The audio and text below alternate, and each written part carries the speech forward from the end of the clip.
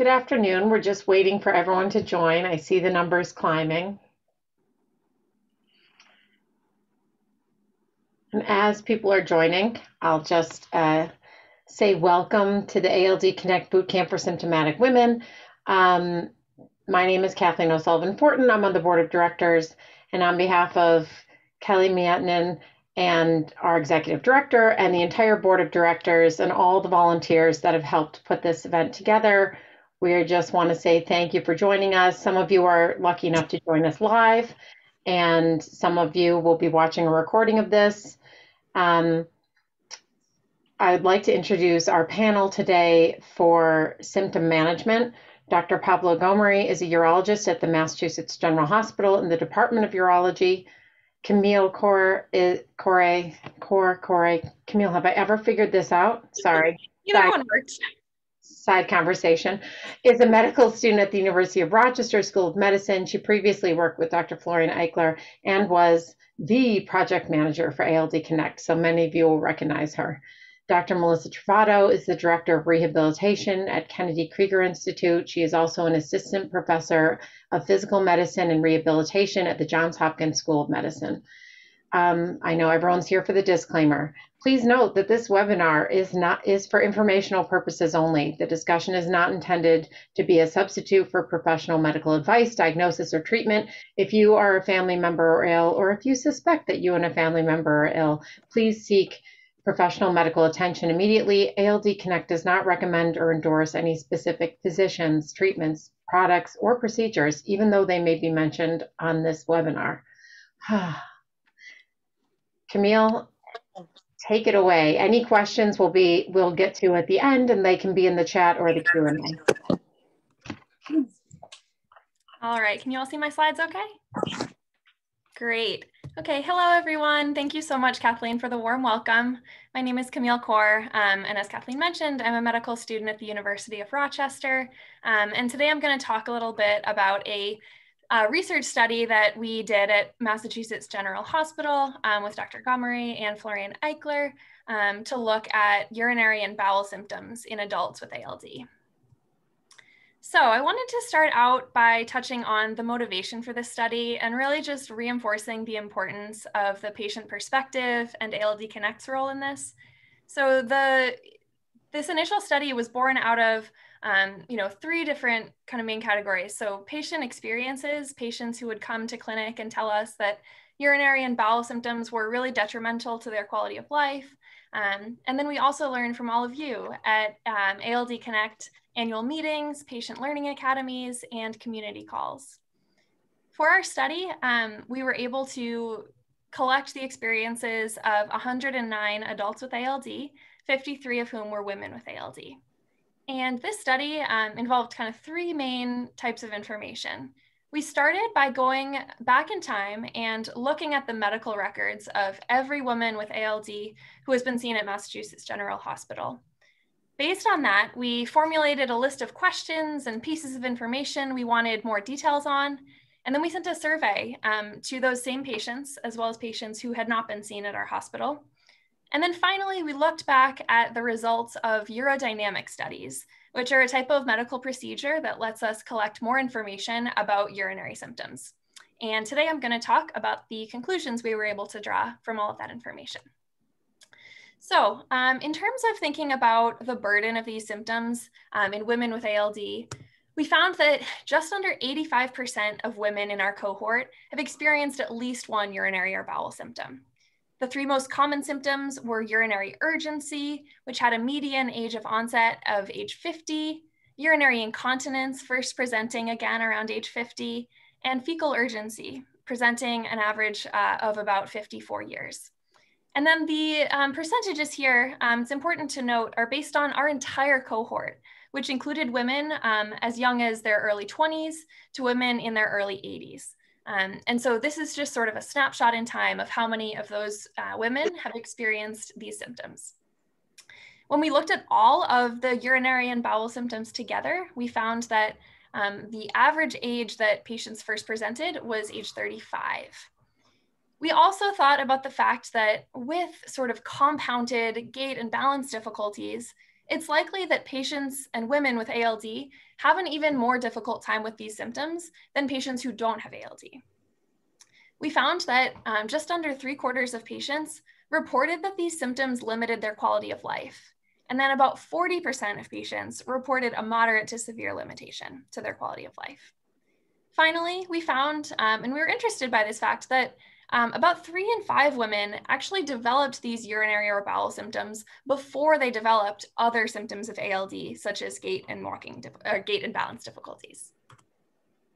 So I pulled out these three pieces of information that I think really helped us to understand what the day-to-day -day experience of a patient is who has these symptoms. We found in patients who reported urinary frequency that they reported um, voiding or urinating an average of 10.2 times in a 24 hour period. And then next we looked at patients who have reported both urinary urgency and urinary incontinence. And we asked women from the time that you first experience urgency to the point when incontinence is absolutely inevitable, they told us they had that mean warning time of just 3.8 minutes. And then a similar statistic for fecal urgency and incontinence, women had an average warning time of 3.2 minutes. So really just helping us understand, you know, the urgency of these symptoms and just how much that's limiting patients' day-to-day lives. So this is a figure from our paper um, that helps to sort of delineate the differences in the presentation of symptoms between men and women with ALD.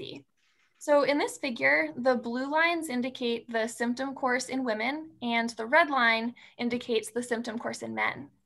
And so you can see that while symptoms are prevalent in both populations, both populations definitely experience all of these symptoms, we found that women tend to experience symptoms an average of 10 years later than men. Um, so just kind of adding more nuance to this concept of, you know, what exactly is it that distinguishes the, um, the male and female experience of living with ALD. So this figure is intended to show just all of the things that patients have tried in order to manage these symptoms. Um, just over 50% of patients um, who have symptoms had tried at least one medication. And then 70.8% of patients with at least one symptom have tried some sort of lifestyle modification or other intervention, things like restricting their caffeine or alcohol intake, planning their daily schedule around their proximity to a restroom. Um, and so this, I think, was helpful in helping us understand, you know, it's interesting that so many patients report that their quality of life is limited, and yet not all patients have been able to try an intervention.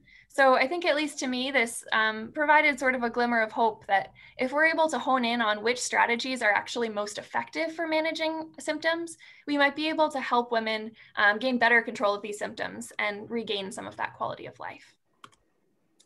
So I'd also like to point out some specific sex differences um, that you know we sort of already knew going into this study and that we discovered over the course of doing this research. So again, we found that both men and women with ALD are affected by these symptoms. We found that women experience the onset of symptoms approximately a decade later than men do. We also found, um, you know, in both men and women, this sort of common pattern of, you know, first the onset of urinary urgency, followed by the onset of urinary incontinence. And what was interesting is that in men, there tends to be a gap of several years between the onset of urinary urgency and urinary incontinence, whereas in women, the symptoms tend to present at the same time. Finally, um, we found that it, it is actually slightly more common for women to develop urinary and bowel symptoms before they develop other symptoms of ALD, like gait and balance difficulties. Whereas men, um, you know, it was a little bit less common for them to do that. And then finally, just tying this back to things that we already understand um, about the differences in symptoms between men and women. So I have up here um, sort of a simplified image of the anatomy of the male and female genitourinary systems. And some of the main differences that we think about um, in terms of these symptoms are women having a shorter urethra um, than men do. So that's the tube that's going to connect the bladder to the outside of the body. Um, and then you also are going to have some different organs in the pelvis that are impacting these symptoms. So women are going to have a, a, uterus right there in the middle of the pelvis that men won't, um, whereas men's symptoms are more, uh, more so affected by the prostate. So the last component of this study was looking at urodynamic studies that some of our patients underwent. And so urodynamic study is a procedure where through using um, you know, different catheters and electrodes, we're able to understand the pressure and volume differences that happen over the course of filling and emptying the bladder. And so when we think about the process of normal urination, there's a couple of different things that have to happen in the right order and in sync in order for the process to happen correctly. And so the way I like to think about it is that the bladder has to contract to let the urine out, and then the um, urinary sphincter has to relax. And so if those things aren't happening in the correct order and in sync, you're gonna start to have some of these urinary symptoms. So based on the urodynamic studies that our patients underwent, we found three different patterns of basically what's going on in the bladder and in the urinary system. So the first one, which was the most common, and 10 out of 11 patients of ours had this, um, was the presence of involuntary contractions of the bladder muscle or the detrusor. So this is primarily an issue during the process of filling the bladder. And again, going back to our you know, imagery here, if you're contracting the bladder when you don't want to, you're more likely to have what we call neurogenic detrusor overactivity, um, which can present in patients as urinary urgency or urinary incontinence. The second pattern that we found was motor underactivity of the bladder. And so this is an issue primarily during the emptying phase of urination. And so again, if you're not able to contract that bladder muscle appropriately, you're more likely to have symptoms like urinary retention or urinary hesitancy, or difficulty initiating the flow of urine. And then the final pattern that we found in some patients was the contraction of the detrusor muscle and the relaxation of the sphincter being uncoordinated and not happening in sync with one another. So looking at these three mechanisms, different patients had different presentations, um, and to a certain extent, these patterns are able to help us understand why a certain patient has specific symptoms. It's important to remember that a given patient may have multiple different sort of patterns going on. Um, but you know, if if you're ever approached about a urodynamic study or wondering whether it might be appropriate for you, really the reason that we think about it is it allows us to tailor our interventions and our medications to the specific pattern of what is going on in your body. Um, so hopefully this gives sort of a little glimpse into you know what this procedure is, why it might be recommended, and how it might help you manage your symptoms better. So in conclusion, I'd just like to give a huge thank you to everyone who was a part of this project.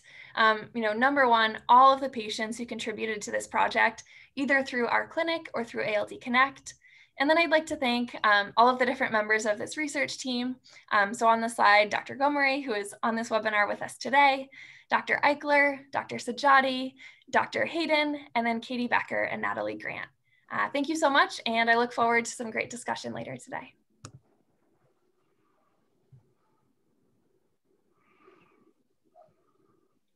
Excellent. So we'll pass it along, the baton along to Dr. Gomery to continue this discussion. I'm ready for questions. Excellent. Well, then before we do that, because I am already getting questions uh, both on this and in my cell phone, um, Dr. Trovato, I would like to invite you to give your presentation and then we'll open it up because I know there that there's a lot of surprising overlap in symptoms and questions. Thank you. Uh, let me get to where I am. Share. There we go. Um, so today um, I'm going to be talking about mobility and strength training. Um, which we just learned does tie into some bladder in terms of physically getting to the bathroom. Um, so just for the purpose of this presentation, so people know the, the words I'm using. So when I'm saying that somebody has severe symptoms when it comes to strength, it's really you're unable to lift your leg against gravity. So if you're laying on the floor, you can't lift your leg up off the floor. Moderate, you can lift it up, up, up off the floor, but you can't get it all the way as high as you should. And asymptomatic to mild is really you're able to lift it with somebody putting resistance on that leg. You are still able to get it up off the floor. So in talking about walking, we're going to think about two things. So one, um, well, four things really, but speed and quality and efficiency and cost. So speed and quality, if we want to think about as fluidness, includes things like clearing your foot, how long you steps you're taking, how smoothly you're taking them, and maintaining your balance. Um, efficiency is more about how straightness of your path, the distance you can cover, and the cost. So how tiring is it? And how much does that limit your ability to go to the distance you'd like to?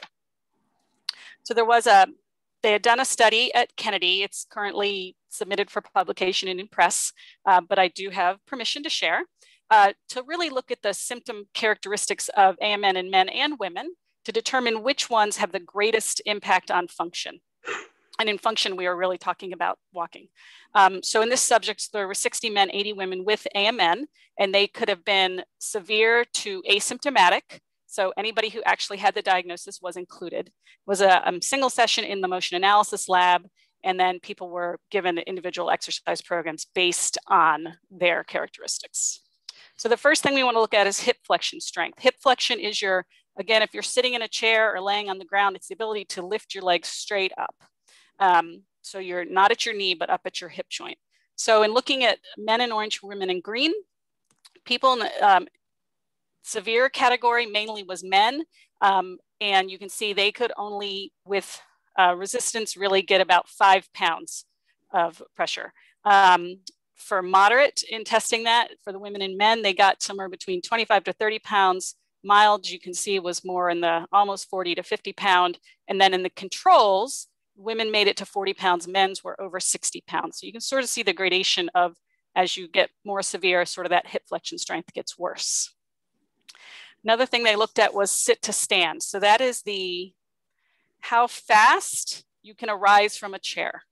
Um, and to do this test, you're not supposed to use the armrest. You're just supposed to physically be able to stand up from the chair without any support. Um, and the assumption is the faster you can do that, the more strength you have and the more skilled you are at that. So in terms of people in severe category, they were not able to arise out of that chair without using the armrest. So they automatically um, were not scored. You can see the moderate takes closer to two, two and a half seconds, mild about one to 1.5, and controls were less than one, um, which is a more normal pattern and time speed for that. They also looked at dynamic standing balance and this gray in the middle should have been the green, I apologize.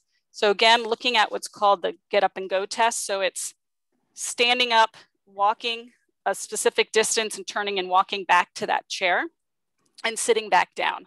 Um, and studies have shown that the time greater than 10 seconds relates to increased risk of falling. So this sort of correlates to falling and things that also lead to problems with your gait and mobility. Um, so again, people who have severe symptoms take much longer on their get up and go test. And sort of as you become more mild or asymptomatic, that gets improved, but not really reaching the level that the controls are in terms of how quickly they are able to arise. So they were focusing on walking speed and endurance as sort of an outcome measure. So just what does that really mean? So slowed walking is associated with uh, both reduced levels of community ambulation participation, higher energy cost, you just get more tired having to walk, uh, decreased quality of life because you can't do what you'd like to do, and then sort of development of secondary complications. So not being able to walk, being in a chair more, sort of the cardiovascular effects of that, the effects on length of muscle and strength of muscle as well. So um, how does this translate into everyday life, right? So I want to walk so I can do what? What is the, what we're looking at? So putting it in perspective for walking speed. So they used reference values that are in the literature of how long it takes to cross a rural street and then how long it takes to cross an urban street. And um, walk speed is found to be a common indicator for functional status. So if you look at um, severely impacted individuals, right, they are walking so slow they wouldn't be able to cross a rural street in a normal amount of time. Moderate really struggles in that urban street. Mild is, is able to cross that urban street. So the faster you're walking, sort of the more likely you are to be able to achieve your distance goals. And they also looked at endurance. So this um, is looking at distance walked in six minutes.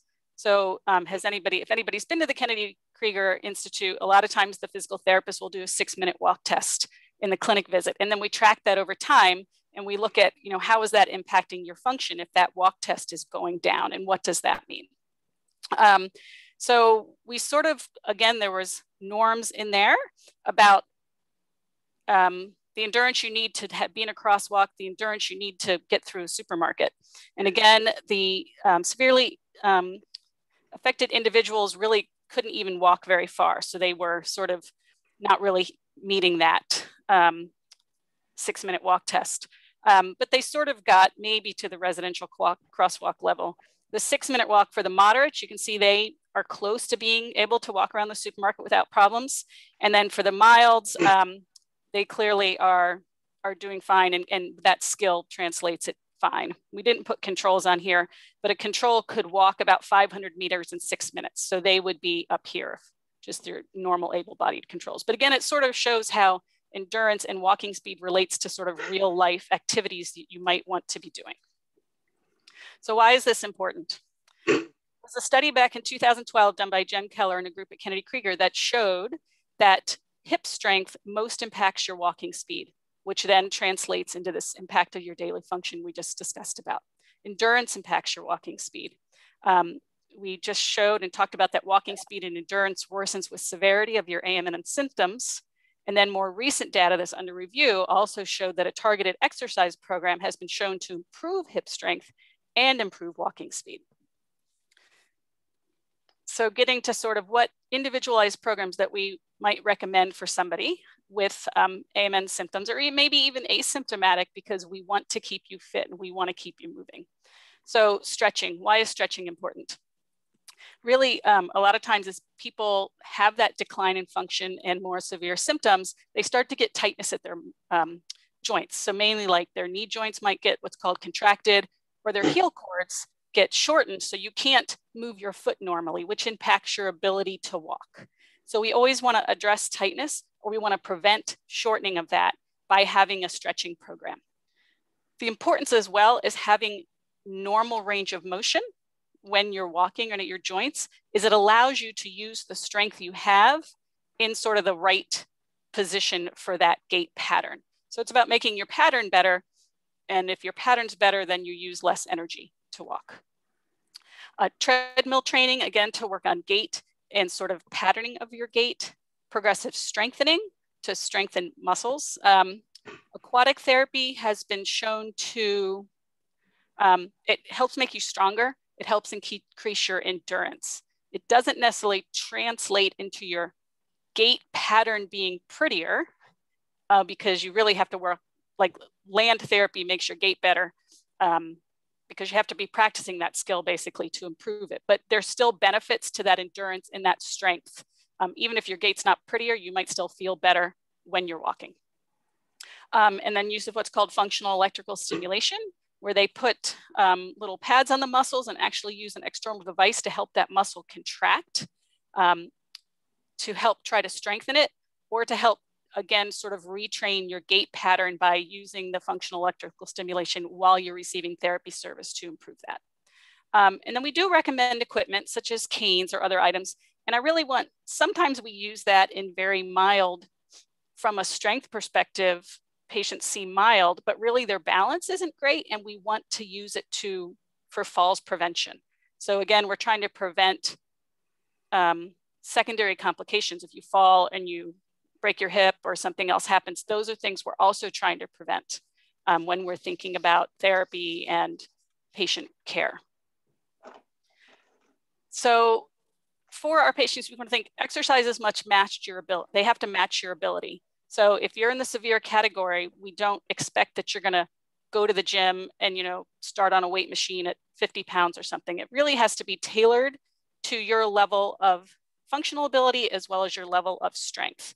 Um, so it's important that we really customize things. Um, so if we think about that, each group or person is significantly different in strength and ability. So each really requires an individualized program to address those deficits. Um, so in summary, uh, really the take home points of all the impairments, weakness is the most prevalent feature affecting movement performance. So if there's one thing you can target, that would be what to target. And that weakness um, in AMN typically lies in your hip girdle muscles. So your ability to raise your leg, the ability to, if you're lying on your stomach, extend your leg or raise it up off the floor, and then your ability to move your legs from side to side at the hip. All those tend to get weaker, so we really need to focus on those. Um, weakness affects both men and women. Strength varies from person to person. Uh, preliminary data shows us that strength and walking speed are changeable and can improve. And it's very important to have an individualized exercise program. Um, and for our asymptomatic um, ladies, so even if you have normal strength and you have no symptoms, exercise in general is important to help with your cardiovascular fitness and prevention of weakness, weakness that either might be related to AMN if you develop symptoms, but also related to aging. We all get weaker with aging, and it's important to keep that strength, which will keep you functional down the line, even if you start to have symptoms. Um, so exercise is important regardless if you have symptoms or not. And then just in terms of thinking, I talked about customization of your exercise program. And a lot of patients, I know we see patients that really struggle in their community to find a physical therapist who even knows what AMN is. Um, and it's really hard. Not everybody has access to a big center, um, but things to think about. So one is we usually recommend that when you're looking for a PT, find one that has a specialty in neurology. So PTs can get different specialty certifications. Some are orthopedic, so maybe they're dealing with you know, patients with knee replacements and hip replacements and back pain, which isn't necessarily going to translate into knowing how to treat you. Um, so you want somebody who treats patients with neurology. So as an example, if there's a PT who treats patients with multiple sclerosis, spinal cord injuries, strokes, that would be a PT that would be more appropriate, even though you don't necessarily have those disorders, but you have a neurologically based disorder and you have weakness that they would be able to treat. Certainly, if you have the availability to seek out a university center, you're more likely to find um, PTs who are specialized and maybe have seen similar patients. And then always ask questions. So you want to communicate with your physicians, problem solve, have somebody who listens, listens, use all your available resources um, to help research that problem. There is, and I don't have it with me, but there is a, um, the main licensing or certification board for physical therapy, which I think is the American Physical Therapy Association. But there's a website you can go on actually and do like search for a PT and you can search by certification and then see where they're at. So it's a really good resource. I don't have it in front of me, but certainly I could get it to ALD Connect if they want to send that out because I think that's a really great resource for patients as well. Because like I said, it's not always easy to find a PT who's knowledgeable. Um, and then certainly when you're wherever you're working with your doctors, or if we have a PT in the clinic, we have a PT in clinic, they will, our PTs will talk with local PTs about what what AMN is and what the treatment in terms of therapy re recommendations are, so we can help guide the local PT as well. Um, and I think your physician or whoever you're seeing could probably help with that too. Um, that is the end. I thank y'all. This is so excellent. Well, just keeping Dr. Trovato, while I've got you, uh, there came a question came in that asked um, whether or not there were any patients who used assistive walking aids in the study or if these were all folks who were getting around on their own.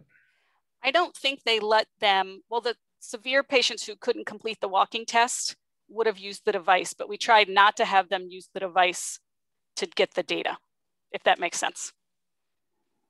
Excellent. Thank you. Because I know that's always a subject. Um, and so I know that there are a lot of questions coming in. Camille, thank you, because I know I've seen you trying to um, address some of them. Um, one specific question that comes up over and over again is what is the relationship between, in terms of bowel bladder, what is the relationship, if any, between um, having had children and um, the symptoms? Because I know uh, I hear a lot and I, from my peers that um, people say, oh, it's not ALD, it's because you had children, or this is the natural function of aging. Um, and is there, you know, I'm curious to see if if that's true, if it's not. It, uh, go ahead, Camille. I'll, definitely defer to you for some more details on this. Um, but I think just in general, it so it is absolutely true that um, you know women who have gone through childbirth whether it is a vaginal delivery or a C-section, um, can both have, um, you know, urinary and bowel symptoms that are impacted because of that. And what we do know on a very basic level is that women with ALD are having more symptoms and more severe symptoms than would be expected with just a history of childbirth. Um, at this point, we don't have enough data to be able to say exactly how much of that impact is because of the history of childbirth. Um, you know, but anyone who says to you that, you know, these symptoms are, you know, totally normal and you should accept them and it's just a part of being a mother, um, you know, that person ought to do a little bit more research and understand exactly what's going on in ALD. The, the reason we do urodynamic studies, as Camille pointed out, is really to find the answer to that kind of a question. When a patient comes in, whether she has or has not had a child, or but even if she has and she has problems, we really want to know what the problem is. If we can find out through the urodynamic study what the problem is, we can decipher and discern whether this is really a problem secondary to childbirth versus a problem secondary to the neurological condition or both. So that's that was the whole point of Camille's presentation about the urodynamic study. The urodynamic study is a nice physiologic way of finding out what exactly is going on. Excellent, thank you.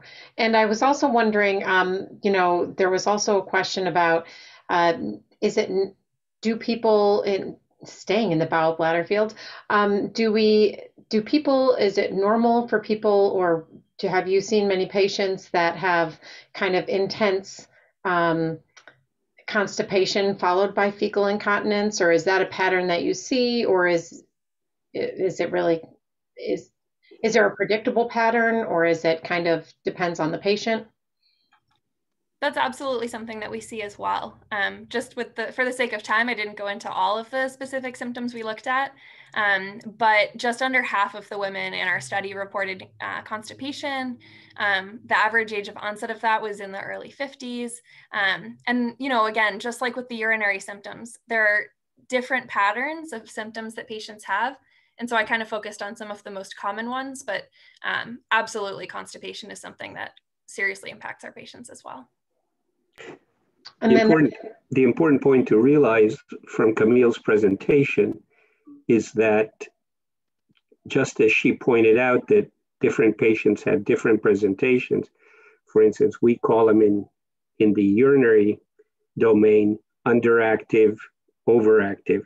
Same thing can happen vis-a-vis bowel function.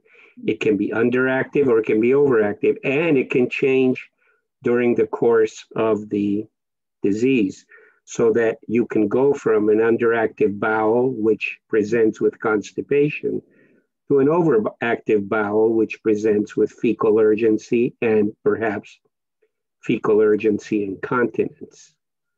So again, that it, it points out the importance of doing studies to find out exactly what's going on. There is an equal study uh, in the gastroenterology domain called anorectal manometry, which again is geared towards finding out these answers. The other important thing to realize, and this is really a very important point that we've only found out through research in the last 20 years, is that bowel and bladder neurologically are very intertwined. The mm-hmm. nerve roots that come off your lumbar spine at the point where they come off are together. They're essentially plastered together. And what we found out in the last 20 years is that as a result of this, they send each other neurotransmitters. And when one goes awry, the other one goes awry.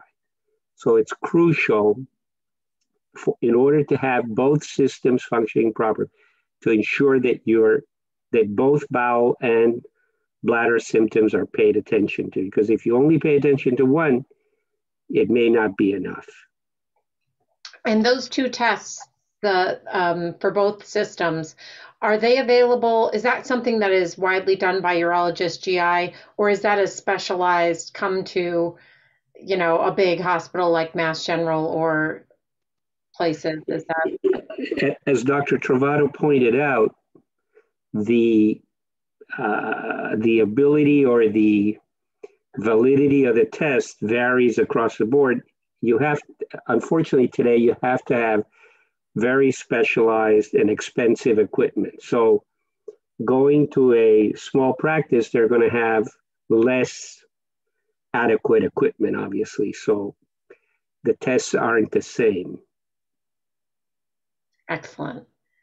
And Dr. Trovato, we're um, we had seen a lot of questions come in about, and I know you were answering this of of um, who to see to set up a personalized um, physical regimen or of uh, kind of therapeutic movement. Is there any kind of who do, who would someone go to to find out, you know, what what you need in general? Is that is the same person who's leading you through that PT the same person who's who's telling you what to get, or how do you know when is the right time to, to go to the right person or get um, the right intervention? Right. And I think part of it depends on where you are, right? Um, because not everybody, unfortunately, has the same access to services. If you live in a small rural community, it might be different than if you live in Boston or Baltimore or somewhere like that. I think if, if you can get to even just one time to a center who can evaluate you, um, it's a snapshot in time, but they can at least come up with a, a plan, right? A neurology plan, a uh, rehabilitation plan, a PT plan, um, you know, some sort of resources to help you with that because it really is going to be important to tailor it. I would just say, um, and if you don't live local enough, working with your local neurologist maybe to help find, like again, a neurology PT. I would think those are probably a mm-hmm. little more common in communities just because of the prevalence of stroke and other things that are out there. Um, and then, you know, I don't think we've ever turned down a PT from a community who emails us and says, hey, can you tell me what, like, what are some guidelines or basics you use? And then they take that and customize something for that individual. Um, so I think it's using all your resources. Certainly don't, I think it's okay for you to have a PT reach out to a center, even if you have not been seen there, just to provide what is your standard guidance, and then they can customize it to you. Because um, I think that's the really important thing is we don't want to say, oh, this is the, you know, everybody should be doing this one exercise to strengthen your hip flexors because it may not work for everybody. And then you get frustrated if you can't do it and you're not doing it right, then you can get hurt. Um, so I think that's the biggest thing. I think um, I just answered a question sort of like this. I think if you are asymptomatic, it's really about finding something you like to do, um, having some strengthening, knowing that around the hips gets weak, and some cardiovascular, um, and picking something you like or you won't keep doing it. So I think for asymptomatic, you have a lot more flexibility in what, you know, just find something you like to do. If it's swimming, you swim. If it's you like to ride a bike, then ride a bike. Um, but as you get symptomatic and depending on your level of severity of that, it needs to be more customized and tailored and finding somebody who, even if they don't know, is willing to reach out and ask for help and guidance, I think is important. I, I, think that answered the question, but absolutely. Okay. And then, so I know that you know, for, and in both of these um, different sets of symptoms, it seems to be that it there is no one size fits all. There is no magic magic pill, magic button uh, that would fix everything. My question is, it are are there things you should avoid? So is is there something that you know we may not be able to to list what are the top three things you should do, but are there any things that you should avoid? Are there any you know, are there any certain exercises you should avoid? Is there any cert, sort of injury or caffeine or anything that you would say, you know what, we have noticed you're better off staying away from the following? Or is that just not worth asking because it's the same answer as everyone's different? Yeah, I don't think I can point out there's one thing that everybody should avoid because I think it's really different if you're asymptomatic versus symptomatic and what your functional ability is, what you can do. Sure. It's just most important to I think not overdo something, right? So don't push it too hard where you're, you know, can't get up the next day because you're so sore or you're weaker um, or you get hurt. I mean, those are the big, avoid getting hurt. I would say if we had to avoid something, but otherwise getting a plan for you, like getting a, a tailored program if, if you need a tailored program and then sort of sticking with that. And it's really about, you know, it's not just like everything, right? We get up and we walk every day or whatever it is exercise is something you have to do frequently. You can't, I always tell people it's not about that PT visit once a week is not what's making you better. It's mm-hmm. helping change your plan or giving you different things to do, but it's really what you do at home every day that makes the difference. So finding something and sticking with it, I think, is the, the key to that. Excellent. And Camille or Dr. Gomery, any anything that people should avoid, practices, you name it, in terms of their bowel and bladder health? Or is there anything people can do at home that's non-interventional to try and assist, strengthen, avoid? Camille? Uh, one thing I think that a lot of patients find helpful, especially if you have an appointment, you have a plan to, you know, see a urologist about these symptoms, is to keep a symptom diary mm-hmm. and come to that appointment with as much information as you can. Um, you know, come ready to to say, you know, what are things that you've already tried? What has helped? What hasn't? Are there times that you notice the symptoms are worse? Um, you know, are there are there activities you do that seem to worsen them? When do you notice the symptoms the most? Things like that. Mm. Um, you know, I think in helping you make the most of your appointment. That's one thing. Absolutely. I know I always think of things as they come up and then I show up and it's my one time to shine. And I'm deer in headlights. I forget everything. I remember it when I hit my car the car park. So I'm just quick scanning through.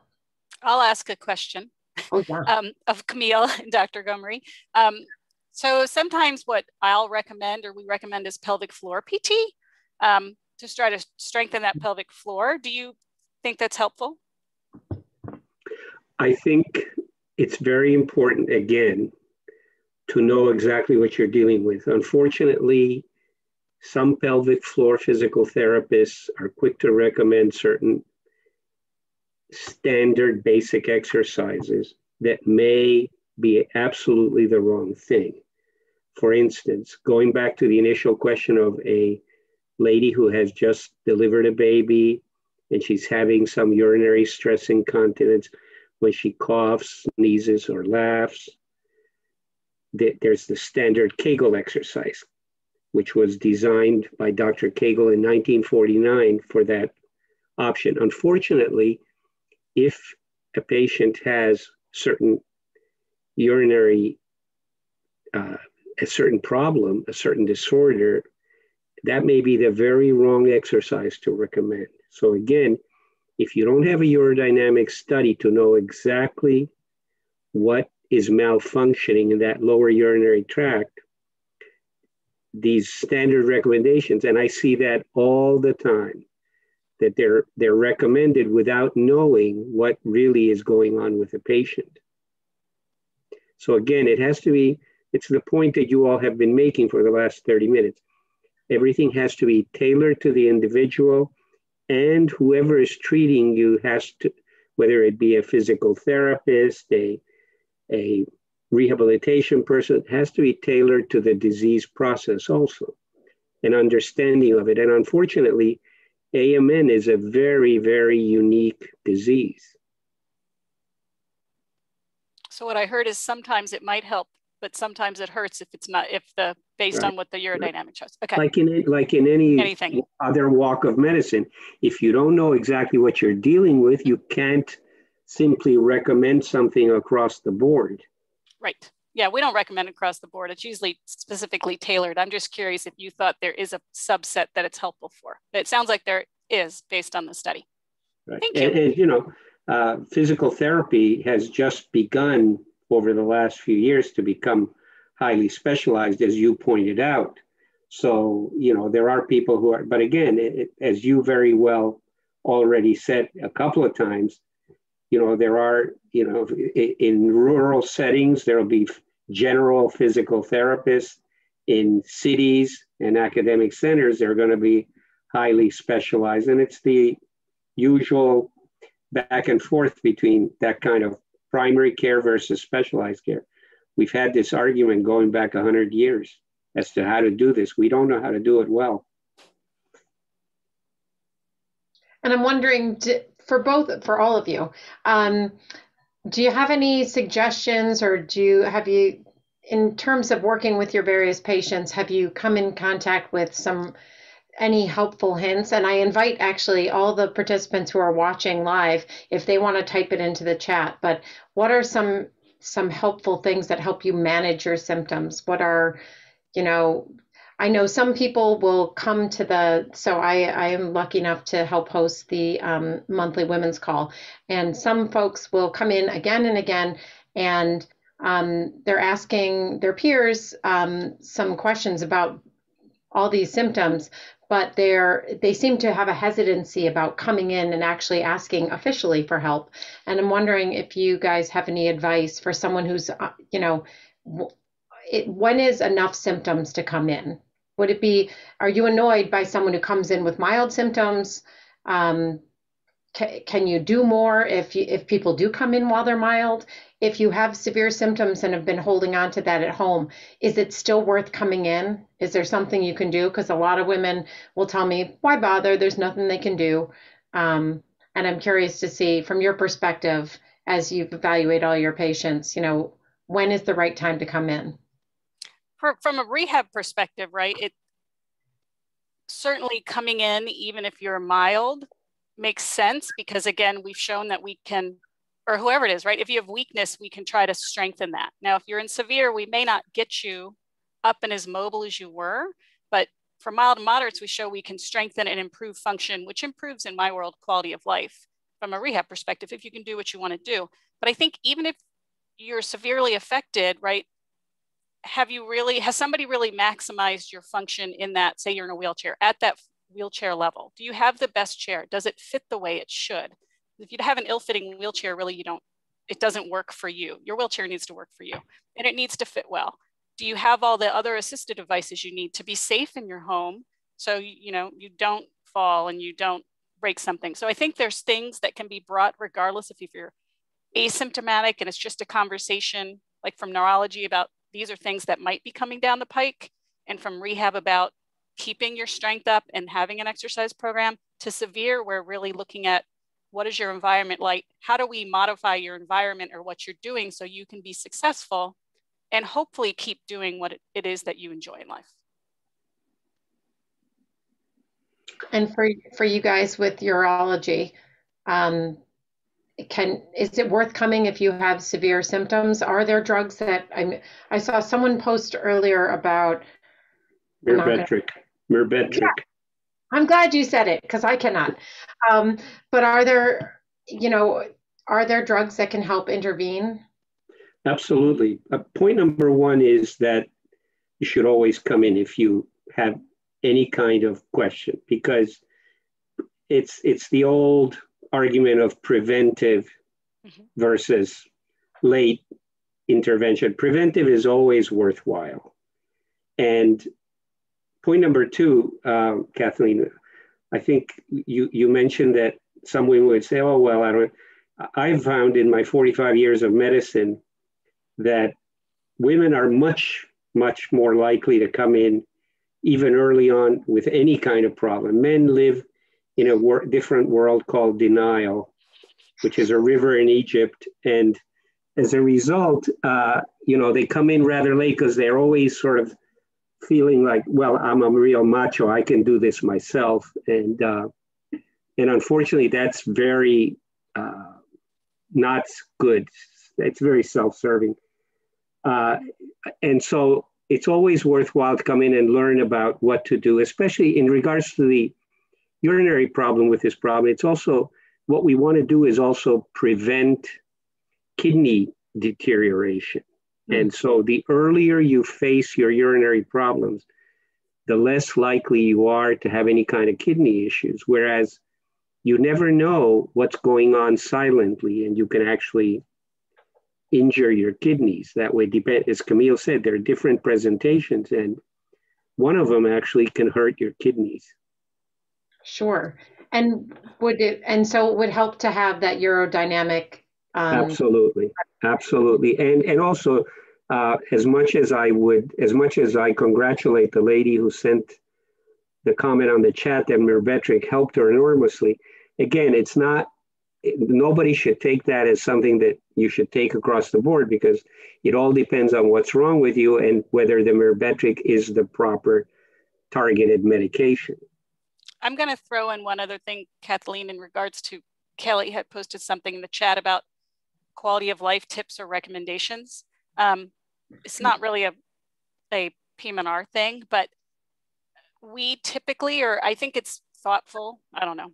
You have to think about like, sometimes we recommend psychology services, right? Having this diagnosis, it is a very big life stressor. If you're asymptomatic, it's a stressor because you don't quite know, and regardless of how you're affected. So I think in one things of terms of managing your own health and maybe mental health and how that translates to your quality of life, I would say that's one thing I think is really important. Um, you know, having somebody to talk to and sort of that you can express everything that's going on who might, you know, help you sort of process it at least and work through it. Yeah, I, I fully agree that the future of medicine is multidisciplinary teams. So it'd be ideal for a patient to come in and see a physician, a physician assistant, a physical therapist, a PM&R person, a social worker, a psychologist, all at the same time so that a, a team can best together integrate whatever decision making needs to be done. And we have we have these multidisciplinary teams already set up in cancer management, but cancer management is way ahead of everybody else. And unfortunately, in these kinds of issues, we don't have these multidisciplinary teams. But how well we're going to practice medicine in the future will depend on our ability to set up these teams efficiently. And right now, we are not there. But I agree with Dr. Trovato. The more of these people that are involved in your care, the better off you'll be, and quality of life will be improved. Absolutely. Well, it is funny that you guys say that because uh, just five minutes from now, there will be a session about mental health and coping with your diagnosis. So, what a perfect transition. I swear we have not scripted it. Uh, I want to thank you all. Thank you so much, Camille and Dr. Trovato and Dr. Gomery, for coming and answering our questions. To the folks watching at home, yes, there are still a few questions that are that are just late popping up. We haven't had an opportunity to answer we again we are trying to record those and we'll try and make sure that we can try and get the answers to everyone. Thank you so much. Thank you for sharing your saturday with us and be well. We'll see you at the next session. Thank you. Thank you